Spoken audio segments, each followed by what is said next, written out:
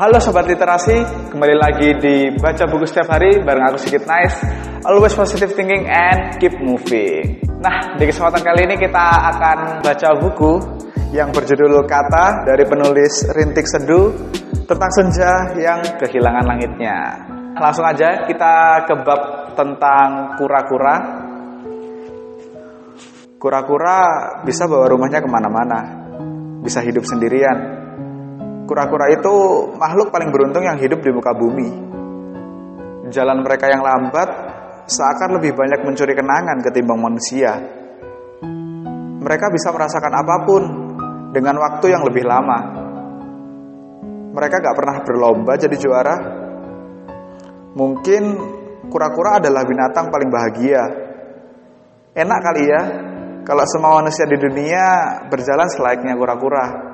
Mungkin tak akan ada yang namanya juara. Mereka sudah cukup bahagia dengan langkah lambat yang mereka punya. Nah, segitu dulu untuk video kali ini. Jangan lupa ikutin terus baca buku setiap hari bareng aku Sigit Nice. Always positive thinking and keep moving.